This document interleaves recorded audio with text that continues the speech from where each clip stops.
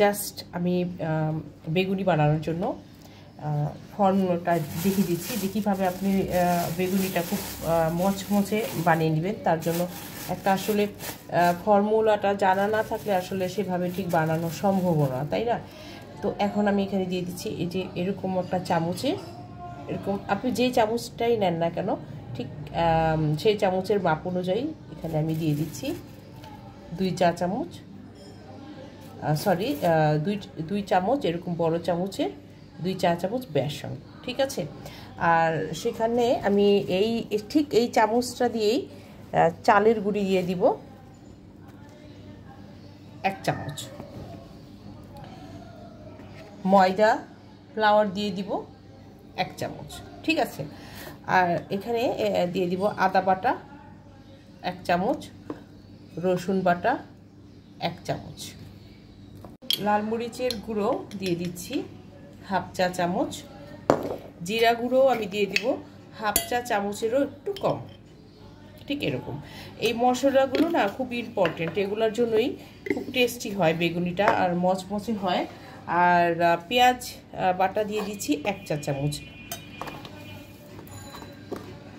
ঠিক আছে? আর হচ্ছে গিয়ে এখানে আমি একটু সামান্য পরিমাণ একটু আস্ত পাঁচ ফোড়ন দিয়ে দিচ্ছি। দেখিয়ে দিচ্ছি জাস্ট একটু সুবিধার জন্য আপনাদের। জাস্ট একটু সুন্দর ফ্লেভার আনার জন্য। এরকম এখানে পাঁচটা ফোড়ন আছে, গোয়া মসুরি আছে, মেথি আছে তারপরে হচ্ছে গিয়ে কালো জিরা, এরকম বিভিন্ন পাঁচটা ফোড়ন আছে। এখানে অল্প একটু দিয়ে দিলাম জাস্ট সুন্দর একটা ফ্লেভার আসার জন্য। একটু ধনিয়া গুঁড়ো দিয়ে দিব এখন। ধনিয়া গুঁড়ো দিয়ে দিচ্ছি। দেখুন এরকম হাফ চা চামচ। লবণ দিয়ে দিব স্বাদ মতো। বেকিং সোডা দিয়ে দিচ্ছি।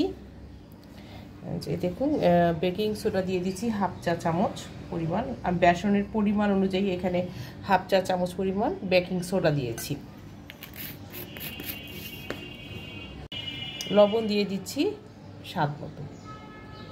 এখন জাস্ট এটা এখানে পানি দিয়ে খুব ভালো করে একটু মাখিয়ে নিচ্ছি মিশ্রণটা তো।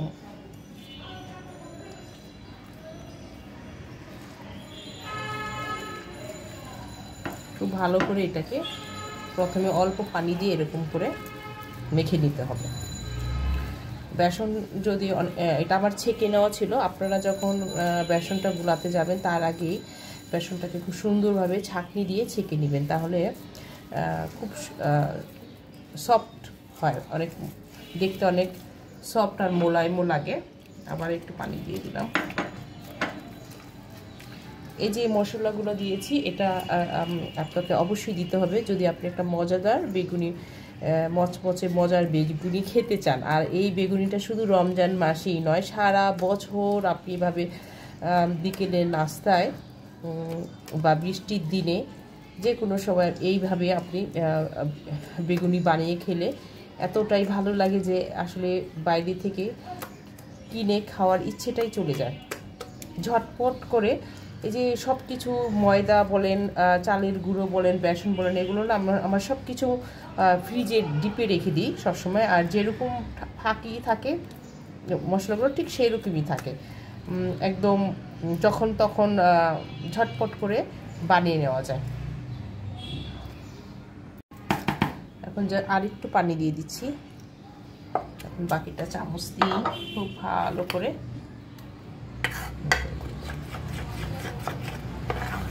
আর মশলাগুলো যদি পারফেক্ট না হয়, খুব বেশি টেস্টি লাগে না তখন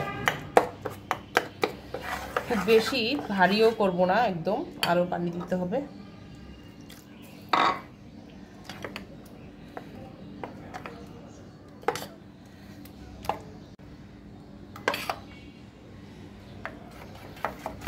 এই তো বেসনটাকে আমার খুব ভালো করে মাখিয়ে নেওয়া হয়ে গেছে। এখন জাস্ট এটা রেখে দিব। ভাজার সময় এখানে তখন বেগুন চুবিয়ে চুবিয়ে যে কোনো মরিচ বলেন, বেগুন বলেন, কুমড়ো বলেন, সব কিছু আপনি ধনে পাতা বলেন, সব কিছু এই বেসনের মধ্যে ঠিক এইরকম প্রসেস করা, মেখে নেওয়া মশলাযুক্ত বেসনগুলোতে মেখে মেখে ভেজে নিতে পারবেন। তাতে কোনো সমস্যা নেই। এটা আপনি শুধু ইফতারি নয়, ভাতেও খেয়ে নিতে পারেন। ভীষণ ভালো লাগে খেতে। চলুন তাহলে, এখন ভেজে নিব বেগুনগুলোকেও। আমি কীভাবে ভেজে নিচ্ছি সেই ভিডিওটিও আমি আপনাদের সঙ্গে শেয়ার করব। যে দেখুন, এখানে কেটে রাখা বেগুনগুলো নিয়ে নিয়েছি।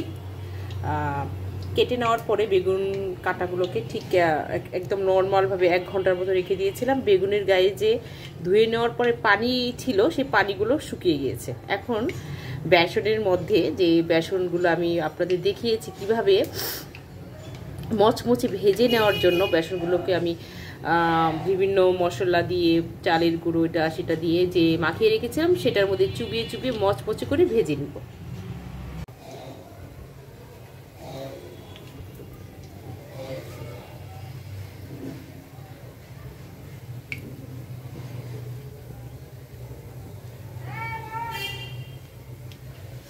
আমি দেখিয়ে দিচ্ছি যে কীভাবে বেসনের মধ্যে আমি চুবিয়ে নিচ্ছি।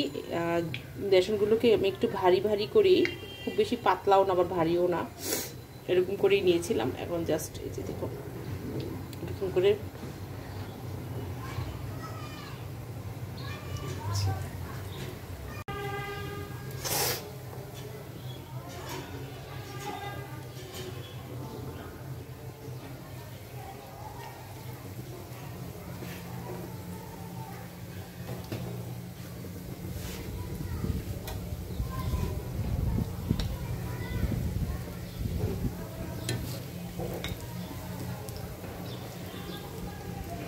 সুন্দরভাবে ফুলে উঠেছে, দেখতে পাচ্ছেন।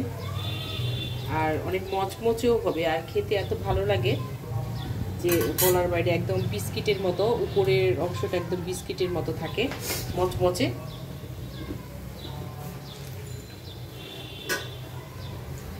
একটি ছিদ্রযুক্ত চামচ নিয়ে নিলাম, এটাকে বারবার উল্টে পাল্টে দেওয়ার জন্য।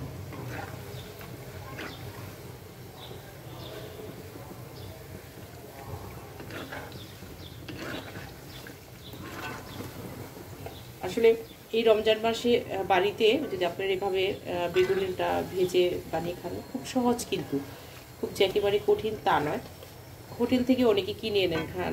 কিন্তু আমি বলি কি যে বাসায় বানিয়ে খেলে একটু আরও বেশি টেস্টি লাগে। আর খুব হেলদিও হয়, পরিষ্কার, পরিচ্ছন্ন এবং অনেক রকম আমরা বেশি বেশি করে মশলা দিয়ে থাকি। যে কারণে আমাদের হোমমেড যে খাবারগুলো হয়ে থাকে, খুবই টেস্টি হয়ে থাকে। অনেকেই হোটেল থেকে কিনে এনে খান, আমার কাছে কিন্তু বাসায় বানিয়ে খেলে যে টেস্টটা পাই, হোটেলের খাবারের সেই টেস্টটা আমি পাই না আসলে। হান্ড্রেড পারসেন্ট পাই না।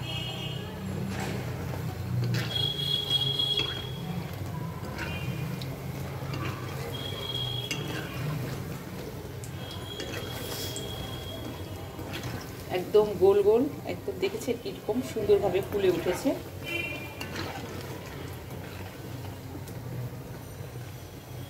চুলোর আঁচটাকে আমি মাঝারি আঁচে রেখেছি। মাঝারি আছে এগুলো আস্তে আস্তে আস্তে ভাজা হয়ে একদম মচমচে হয়ে যাবে।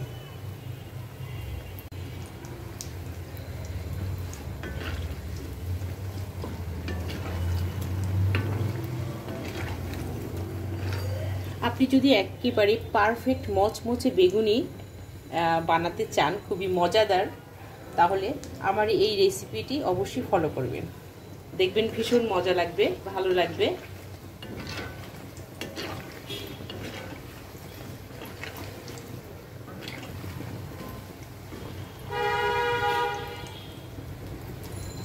বেগুনিগুলো একদমই পারফেক্টভাবে ভাজা হয়ে গেছে। এখন জাস্ট একটি প্লেটে বা বোলের মধ্যে তুলে নিব।